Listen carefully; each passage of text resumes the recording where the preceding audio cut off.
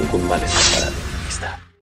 Bienvenidos a un cómic narrado más. En esta ocasión continuamos con el número 4 y penúltimo cómic de Legend.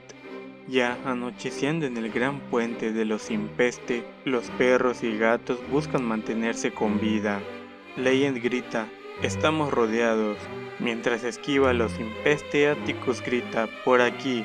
Elsa grita, sigan a los gatos. Daisy pregunta, ¿los gatos?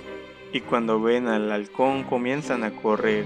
Al mismo tiempo, en la guarida de Bagheera, Mientras la reina descansa, dos de sus secuaces entran apresurados y advierten, Reina Bagheera, ya están en marcha. ¿Quién está en marcha? pregunta ella. Vienen por los muros, creo, creo que se aproximan aquí, tenemos que convocar una batalla, tenemos que decírselo a la tribu de los perros, dice el gato con un miedo evidente. La reina lo calma diciendo, deja de sorberte los mocos, Max, ¿qué es lo que se aproxima? Y el gato del parche le grita, y yo te ruego que me digas dónde está Oni. Lo último que supe fue que ustedes dos salieron de rastreo. Entonces Max relata que su amigo Oni sucumbió ante la oscuridad final. El gato del parche le pide a Max que hable con la verdad ya que lo que dice suena incoherente, pero Max grita, ojos rojos reina Bagheera, se acercan a la escalada.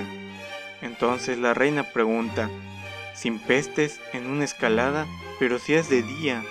Otro de los guardias de la reina dice, nada es como debería ser, mi reina, el mundo está cambiando de nuevo. Por favor, deje que avise a la tribu de los perros. Y Bagheera dice, si lo que dices es cierto, no nos hará ningún bien de todos modos. Por lo que sabemos, su corazón solar podría estar muerto. Y sin un corazón solar no tienen dirección. Tráiganme mi armadura. Con prisa, los animales han logrado evadir a los impeste y han llegado a la torre de Oz. Elsa se queja del cansancio que la persecución le ha producido y Daisy se queja de que los gatos no les han avisado con anterioridad sobre los impestes. Mayra, que había escuchado todo, dice, les dijimos todo lo que tenían que saber, ustedes los perros tienen la piel muy fina. Atticus la secunda diciendo, hemos jurado protegerles por el camino de sangre. Yo no tengo la piel fina, reclama Daisy. Atticus prosigue, y haremos lo que debamos para mantener la promesa. Él, sabiendo que su compañera, aún con pruebas de que los gatos son de fiar, no quiere creer en ellos, interviene. Daisy, tú ya sabes que estoy contigo. ¿Cuánto tiempo llevamos en la manada? Los gatos, eh, no son del todo malos, ¿sabes? O al menos estos no lo son. Oh genial, ahora también te estás volviendo un amante de los gatos, se queja Daisy. Y Elsa vuelve a decir, no todos los gatos, Daisy. No todos los gatos. Y vemos que tiene un recuerdo. Ese día la dueña estaba muy feliz porque había conseguido una nueva mascota de nombre Maverick.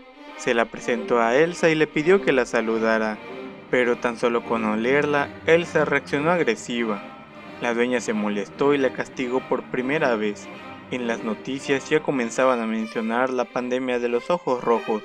Conforme pasaban los días, Elsa se tuvo que hacer a la idea de la nueva compañía e incluso descubrió que no todo era tan malo, ya que juntos hacían de las suyas.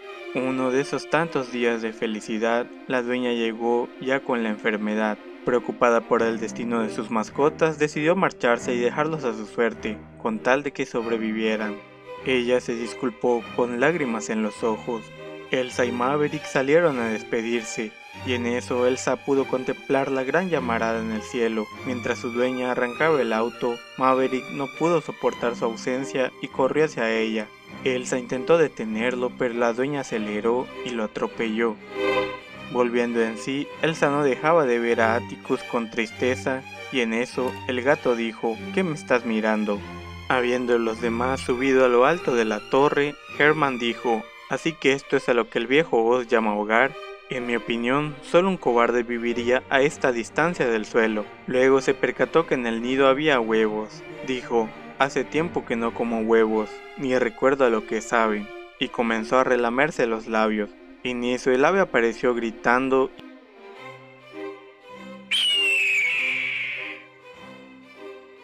y se abalanzó sobre el cuello de Elsa, le arrancó el collar de un tajo, se paró sobre un tubo y dijo, ¿Por qué han venido aquí rapiñadores? ¿Fisgones nocturnos?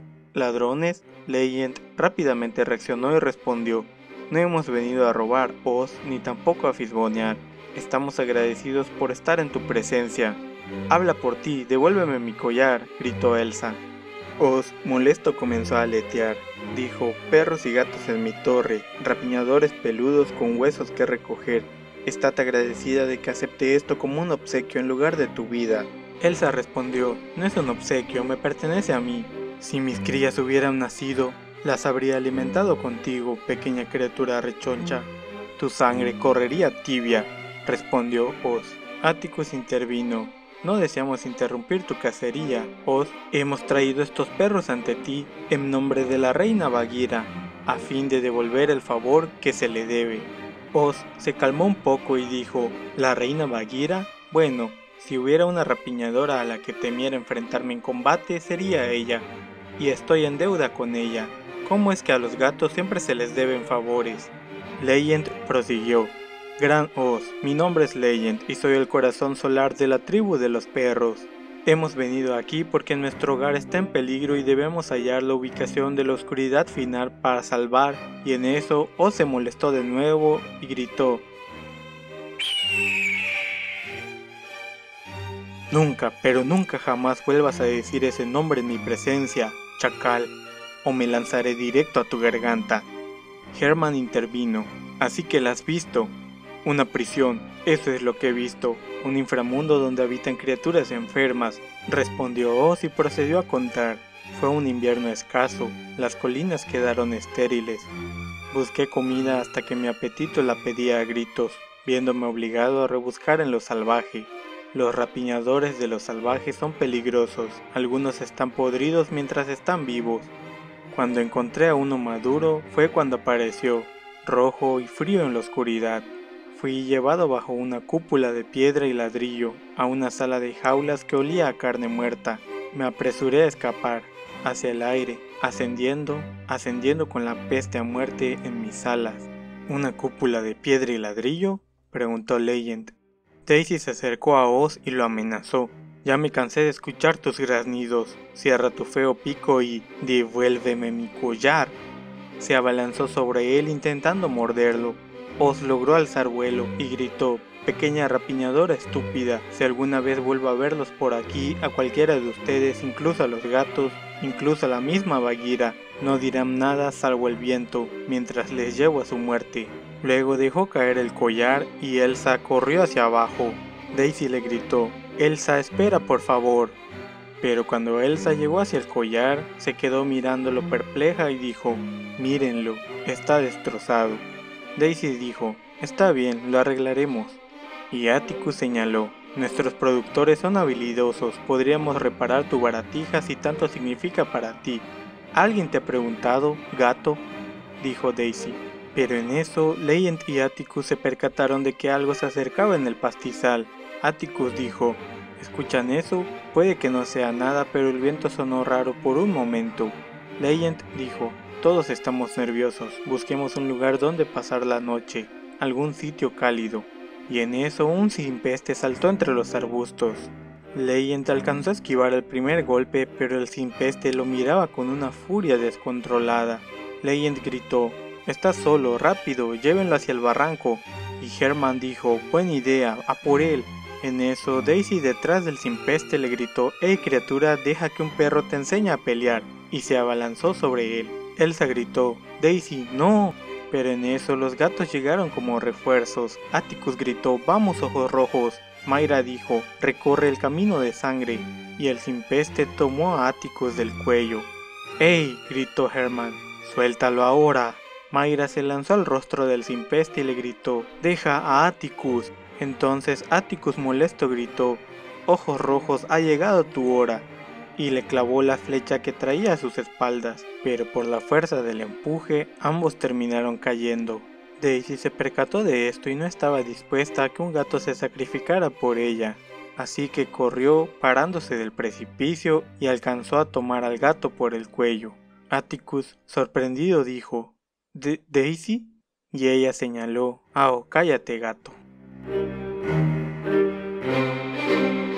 Y este es el final del capítulo 4. Como extra te dejo la historia de Boris el herrero. Su madre fue apresada por el Ojos Rojos cuando él apenas podía ver, lanzado a una muerte casi segura, otra víctima más de él, encontrado por gatos en lo salvaje como de los suyos ellos lo vieron un kit con buenas patas y para la floración un ingenio férreo, que los metales cantaran él haría, con sus herramientas y su fuego, con instinto e inteligencia armaduras y espadas diseñó, llamado Boris el Herrero como recordatorio de su rol. Ahora en lo más profundo de la guarida de los gatos, el duro trabaja con sus ojos pequeños y negros y sus garras afiladas como navajas.